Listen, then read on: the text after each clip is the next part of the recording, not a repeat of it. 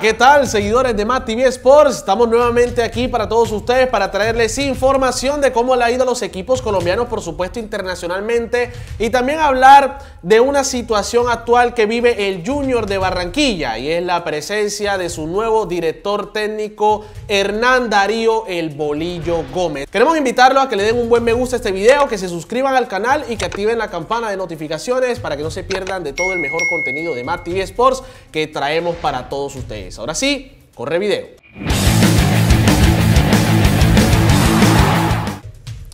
Iniciamos con Millonarios e Independiente Medellín. Medellín que logró la clasificación, que lo habíamos dicho en el video anterior de que Medellín tenía todo para poder clasificarse. Lo logró de la mejor manera, enfrentando a un Magallanes que la verdad personalmente no era un rival de peso, para que le pasara por encima al cuadro rojo de la montaña. Medellín tuvo la contundencia, aprovechó las oportunidades y se logra meter en la fase de grupos de la Copa Conmebol Libertadores. Ahora, por supuesto, Millonarios, otra eliminación más, otro fracaso más, porque hay que decirlo así. Este equipo con el profesor Alberto Gamero ha tenido muchas eliminaciones, casi 10 eliminaciones en total tanto por liga como por copa, como por copa Conmebol Libertadores. Y preocupa, porque sí, el fútbol está bien, está mejorando, se han visto cositas interesantes, pero en cuanto a logros, en cuanto a objetivos, lo que uno espera que este equipo consiga son títulos. Y nada más en tres años, con el profesor Alberto Gamero, nada más consiguió una copa, una copa Betplay. Y eso no es suficiente para uno decir, sí, Millonarios, el proceso, excelente. No, no, los procesos también van acompañados de eso y para eso se arma un proceso. Es para lograr títulos. Y la grandeza de un club se da es por los títulos que tiene, los títulos que logra. En estos momentos Millonarios no le está alcanzando para uno decir excelente proceso del profesor Alberto Gamero con este Millonarios, la verdad no. Vamos a ver qué pasa con la liga porque ya en Copa Libertadores le fue mal. Nada. La liga es el objetivo de Millonarios. Si no la gana, no sé qué decisiones irá a tomar la dirigencia del equipo azul de Bogotá. No sé si se aguantarán muchas más eliminaciones. Ya estos jugadores también que están presentes ya tienen múltiples eliminaciones encima. ¿Y qué decisiones van a tomar? Necesitan un técnico que ahora apunte a lo que verdaderamente espera Millonarios, que son los títulos. Y eso no se está viendo. Entonces, clasifica Medellín, y Millonarios eliminado por un eh, Mineiro, muy fuerte por supuesto, que impuso su fútbol eh, en, su propio, en su propia casa, con un hall que en este partido sí estuvo metido y enfocado en lo que es, que es tener la contundencia y por supuesto tener el carácter en la cancha. Qué golazo se mandó Hall el día de ayer, una media chilena excelente y que venció a Montero, que estaba imbatible en el partido anterior. Pero bueno, esa es la actualidad de los equipos colombianos, no solamente es el tema de la inversión, que claro es muy importante, sino también el carácter que hace falta y la firmeza para afrontar estos torneos internacionales y que no está alcanzando para absolutamente nada. Por fortuna, Medellín, Magallanes lo superó. Millonarios le tocó un rival sumamente fuerte, con inversión, con proyecto, no lo pudo superar.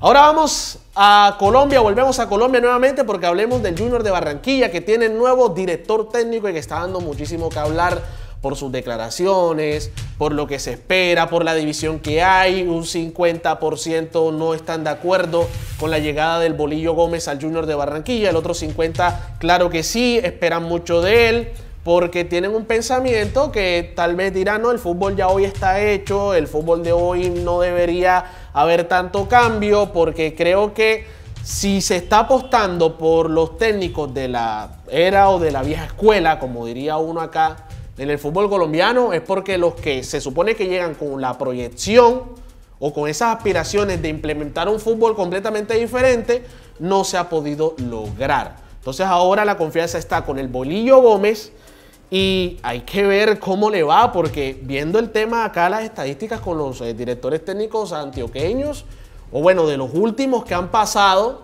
Amaranto Perea, Luis Fernando Suárez, eh, Alexis García, no le han ido bien. Ahora llega el bolillo y llega con una estadística, por supuesto, bastante importante que hay que ponerle el ojo porque es un técnico antioqueño y viene con carácter, viene a imponer por supuesto, manejo de grupo, liderazgo, cosa que Junior como que, no sé, como que hacía falta eso. Porque hace rato no se veía un técnico que venga con ese carácter, con, a solucionar el problema. Y es que si el bolillo llega a clasificar a Junior a los 8, le cumple excelentemente a la dirigencia, porque hoy en día el panorama es bastante oscuro. Un equipo que está de último, un equipo que tiene que ganar una gran cantidad de partidos importantes para poder clasificarse.